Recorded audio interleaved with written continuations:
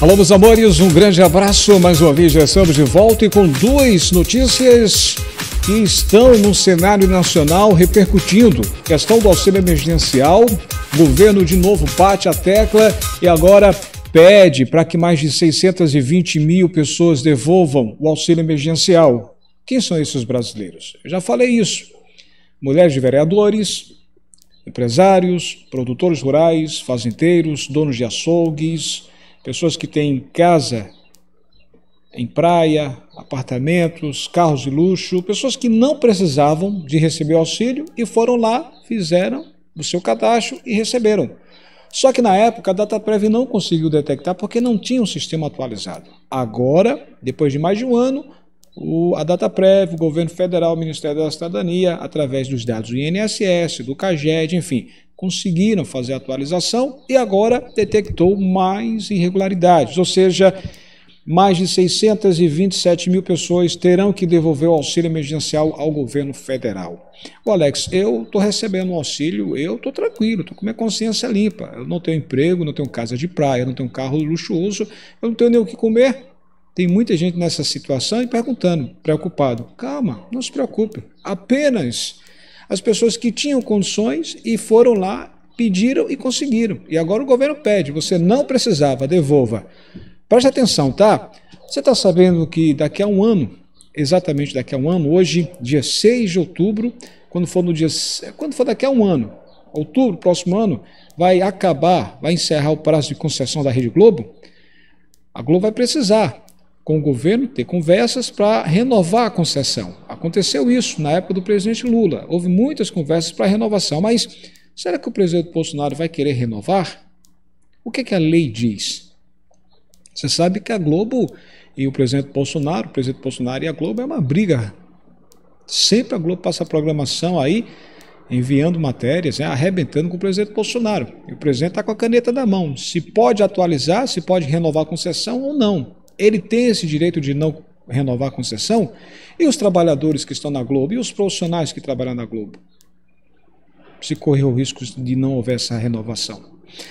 Acompanhe esse vídeo, tá? Estamos aguardando com grande expectativa a, o anúncio, daqui para o dia 25 de outubro, o anúncio de mais duas parcelas de prorrogação, a oitava e nona parcela. Os pagamentos do Bolsa Família vai começar agora, está previsto para o dia 18 de outubro. E já na sequência, depois do dia 20, os pagamentos para quem para quem está fora do Bolsa Família. Há uma grande expectativa que haja prorrogação, sim, tá? Deixa eu só mostrar aqui para você que no mês de outubro vai começar dia 18, como você está vendo aí. Atenção você do Bolsa Família, hein? O seu pagamento já vai começar agora, final do NIS 1, dia 18 de outubro. E aí segue até o dia 29 de outubro com o final do NIS 0, tá? NIS 0. 18 de outubro começa a sétima e última parcela, e aí vamos depender, daqui para o dia 25, deve ser anunciado mais duas parcelas de 150, 250, 375. Muita gente estava perguntando se o governo tem como prorrogar isso com 500 reais, ou com 400 reais, ou com a volta dos 600 reais. Gente, esquece esse valor de 600 reais. É uma luta, uma briga para ver se o governo consegue prorrogar. Deus queira que consiga prorrogar sim, que está bem encaminhado, mas é, mais duas parcelas com 150, 250, 375. Se você, por acaso, ouvir alguém dizendo que pode voltar a 600 reais, você desligue. Não tem condição de voltar mais 600 reais. Eu queria dar a notícia, vai voltar com 600, vai voltar com mil, mas o governo está difícil até para prorrogar. Bora trabalhar? Já deu joinha, já deu like, é importante, faz isso, dá essa moralzinha, você que gosta do nosso trabalho, você que aprecia as nossas informações. Bem, 627 mil brasileiros começaram a receber as mensagens desde ontem, dia 5 de. Ah, desde segunda-feira, né? Desde, aliás, desde terça-feira, ontem, terça-feira, dia 5 de outubro. O Ministério da Cidadania começou a enviar as mensagens de celular via SMS, já falei isso em vídeos anteriores, tá? Que em agosto foram 650 mil pedidos, o ano passado, aproximadamente 1 milhão de pessoas devolveu, e agora mais 627 mil. O governo está pedindo. A notificação orienta essas pessoas a devolver os recursos à União. Ao todo, já foram pagos 335 bilhões de reais a mais de 68 milhões de brasileiros no programa Auxílio Emergencial. As mensagens são enviadas por meio dos números 28041 ou 28042 e contém um registro do CPF de cada beneficiário e o link iniciado com gov.br Qualquer SMS enviado de números diferentes desses, com esse intuito, portanto, deve ser desconsiderado.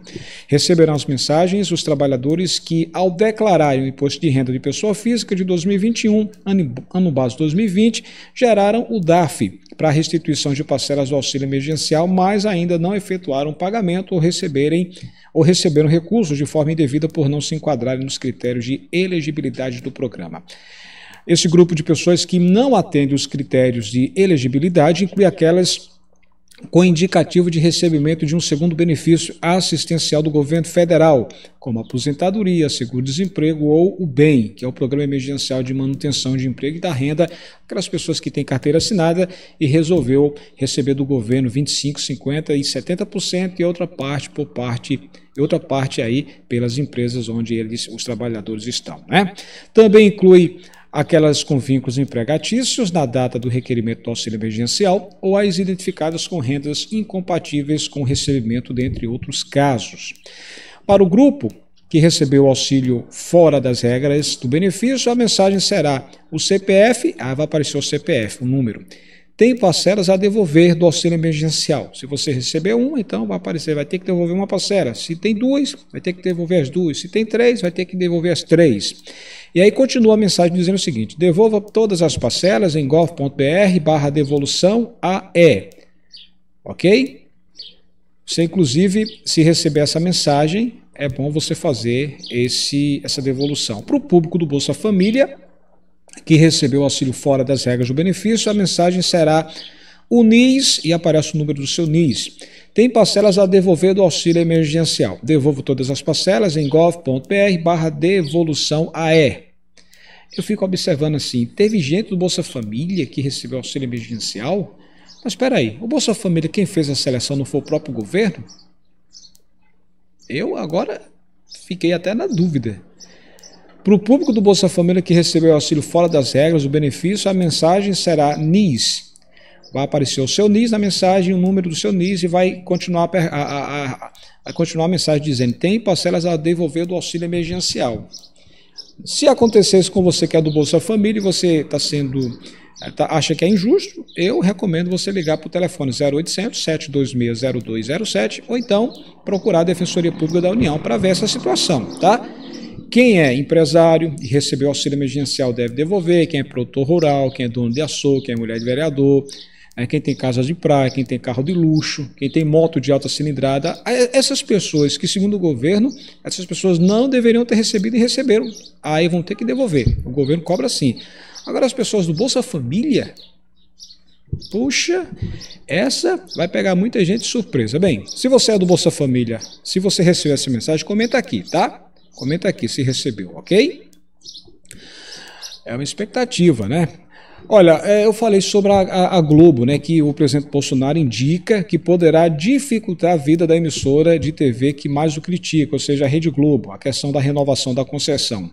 Já começou a contagem regressiva, daqui a um ano, dia 5 de outubro do próximo ano, vence a concessão pública da TV Globo. A partir de hoje, o presidente Bolsonaro já pode decidir sobre a renovação ou não da autorização de funcionamento do canal da família Marinho. Ué, em guerra particular contra o Grupo Globo, desde antes de ser eleito, o presidente já enviou recados nada amistosos à maior empresa de comunicação do país. Um deles aconteceu numa live há cerca de dois anos. Ele disse o seguinte: temos uma conversa em 2022.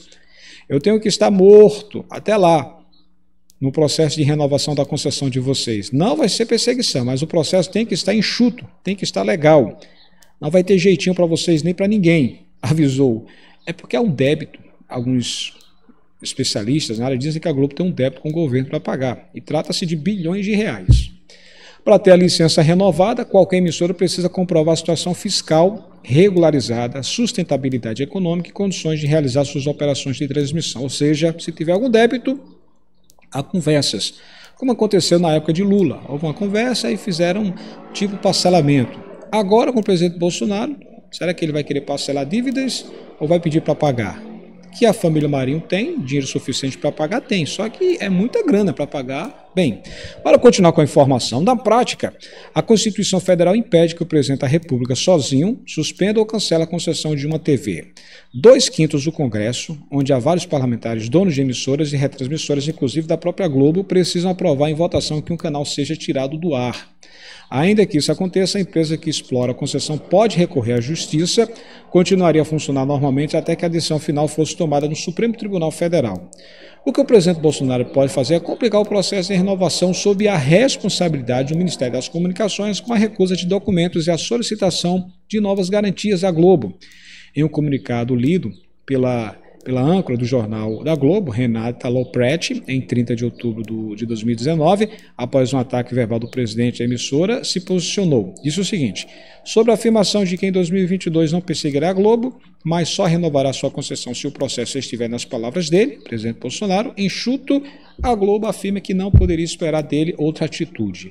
A emissora jamais deixou de cumprir as suas obrigações. A última renovação da concessão da TV Globo aconteceu em 15 de abril de 2008, quando o então presidente Lula assinou o decreto com data retroativa a 5 de outubro de 2007 e validade de 15 anos, e agora encerra dia 22. Será? É uma coisa que muita gente vai acompanhar isso, tá? Expectativa daqui para o dia 25 de outubro é que o presidente Bolsonaro confirma a prorrogação. Está todo mundo aguardado Aliás, está todo mundo aguardando com expectativa que isso aconteça. Prorrogação do auxílio, mais duas parcelas, novembro e dezembro.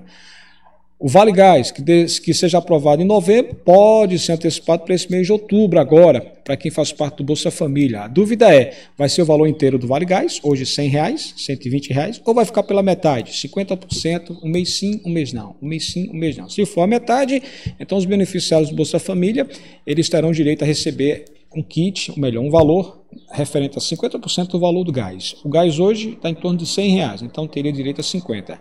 Se o Congresso resolver aprovar o valor integral, ou seja, que tem direito a um mês sim, um mês não, valor completo, então ele vai ter direito ao valor do gás de cozinha hoje, 100 reais, nessa região, se na sua região fosse 120 reais, enfim, vai ser um valor integral. Vamos torcer que seja valor integral, não pela metade, porque aí complica, né?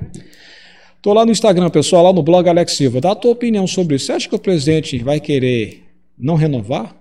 Mas a lei, a lei permite que, a lei diz que tem que estar tá tudo enxuto.